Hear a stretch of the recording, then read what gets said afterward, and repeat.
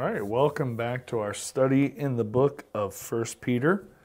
This is lesson six as you're following along. so the goal is to go through the book of the First Peter verse by verse and, and find out how these scriptures look at that in context way back in Peter's day, have application and meaning in our lives here in today, which if you're watching this as they're being recorded in 2024. so we are picking up right where we left off in 1 Peter chapter 3, or sorry, chapter 1, verse 3. And we're going to start moving. We're laying a good foundation.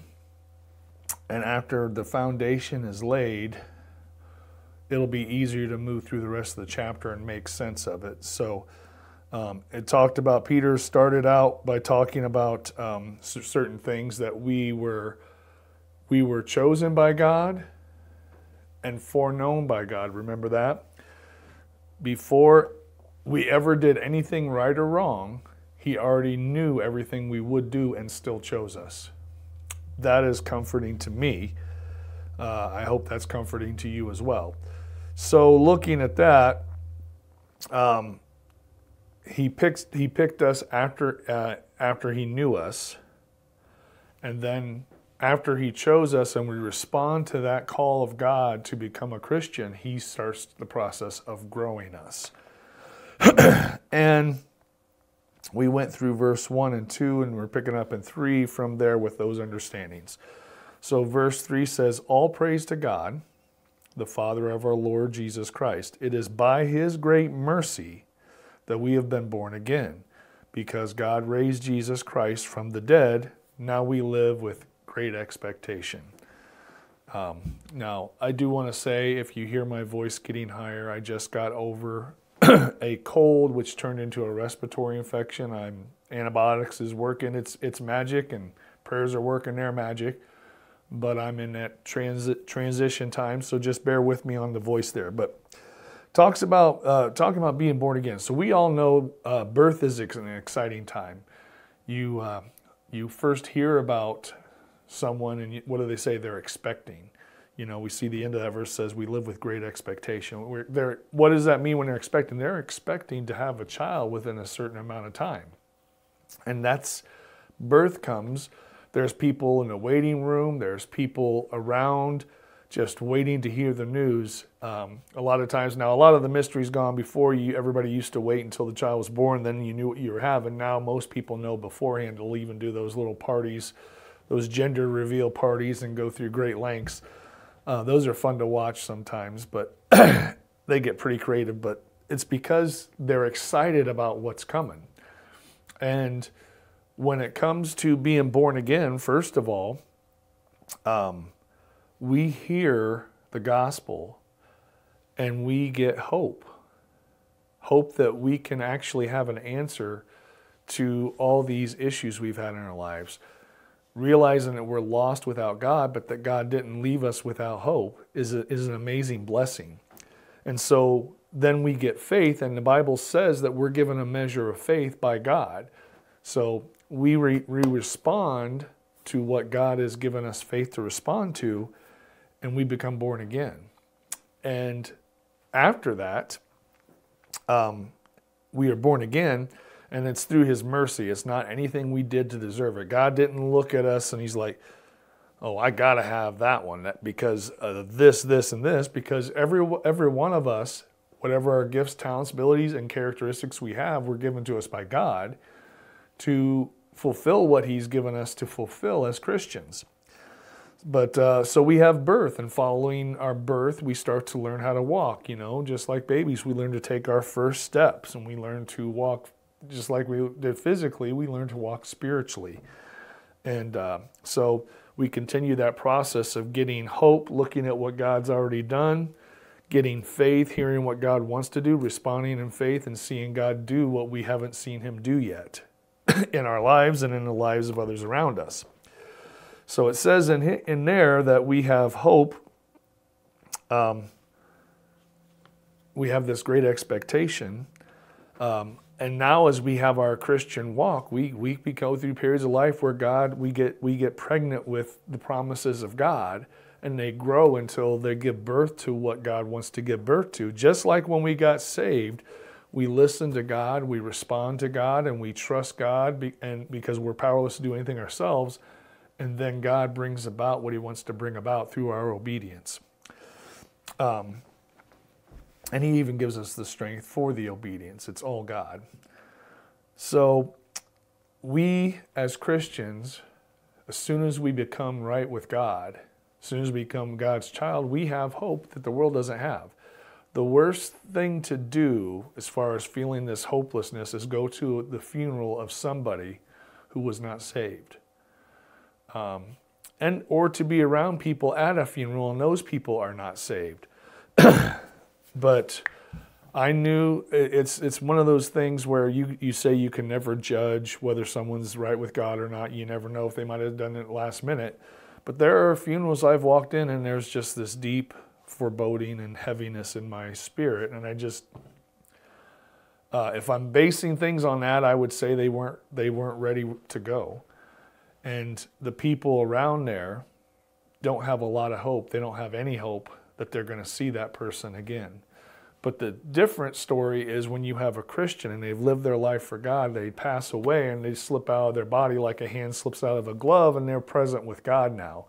And we know as we are Christians, we'll get to see them again. This is not goodbye, this is I'll see you later. And so that brings a difference there. There's, there's a hopelessness in people's lives in that situation. Well, there's other situations too. What about someone who puts all their hope in their job? all their all their hope in their positions, all their hope in money. And it doesn't produce the things they thought and they get to they get to accomplish all these things that they thought were the answer and they come to a period of hopelessness because now they found out that it wasn't the answer.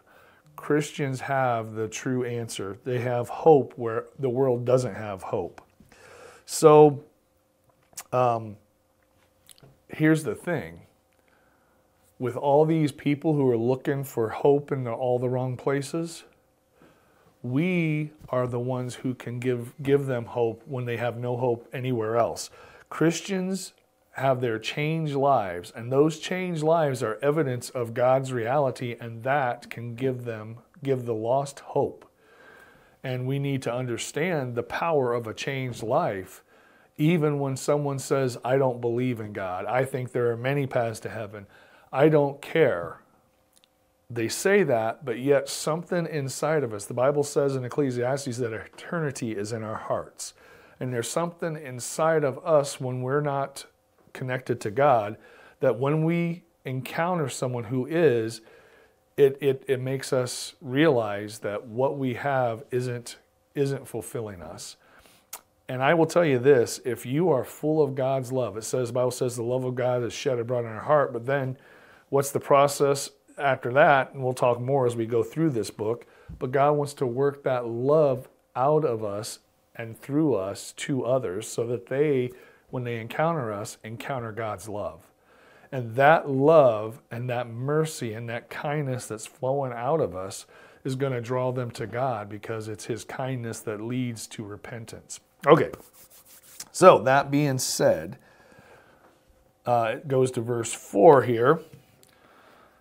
Now, well, before we get to verse 4, let's talk about some things so we can be clear. There are three tenses of salvation that it talks about just in this, in this uh, short set of verses. Um, we have passed. Well, we have been saved from the penalty of sin. What, when did that happen? When we gave our heart to God, when we responded to the gift that Jesus provided for us when He died on a cross and shed His blood. It cleanses us of our sins. Our old sin nature was crucified with Jesus on that cross. When He died, we died with Him. When He was resurrected, we came to life as something new that had never existed before. We are now created in the likeness and image of God in a way that uh, our, our spirit is now alive. The part of us that is in contact with God, that can be in contact with God, is now in contact with God. And so that's where we have in the past. But we also have salvation in present. Uh, we are presently being saved um, from the power of sin, but also there's a power keeping us go as we go through this life, um, preserving us and helping us stay in Christ until we get to our future salvation when we'll be saved from the presence of sin completely and will and Jesus will be manifested back and we're now on the other side of eternity and we are with uh, the Lord in in his presence forever. So keep those in mind as we're going through these verses. So in 4 it says, And we have a priceless inheritance, an inheritance that is kept in heaven for you, pure and undefiled, beyond the reach of change and decay. So now it's talking about it's talking about it went from our past salvation where we receive that salvation, right? That new birth. Now it's talking about our inheritance which is into the future and that's talking about future salvation. But it's, it's talking about it's pure and undefiled, it's unspotted from the world, it's beyond the reach of change and decay. Uh, Isaiah 35 talks about a highway of holiness, and if you stay on that highway, nothing defiled gets gets on there. Um, we are in a process of being changed to be more and more like Him, and in fact, we'll be talking about that um, not too many lessons down the road. But it's, it's important to understand that we need to cooperate with where he's taken us and how he's taken us. But even so, we may have a hundred off ramps from that highway of holiness and, and step out and get, and get defiled out uh, in our outer man. We are preserved for our inheritance and being preserved for sal- our ultimate salvation no matter what, how many, how many times we have sinned and have to repent and, and reconnect with God.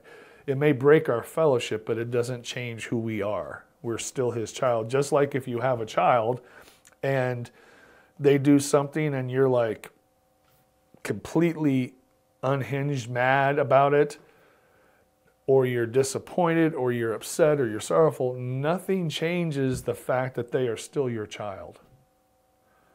And so it's important to understand that we are God's children as Christians and that nothing can separate us from that that. And there are a lot of a lot of trapdoors you can get into where people try to get into the argument of okay, so now I can just say a prayer once and then live however I want. Well, if you're doing that, that's not really that's not salvation. That's not a changed life coming back from uh, to our previous conversation. But we'll get more into that as we go along. Um, but usually, people who love God are changed by God.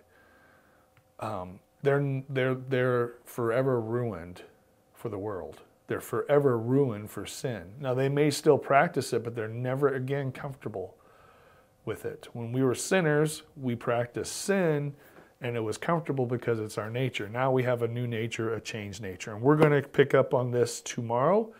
So I will see you tomorrow in our study on the book of First Peter.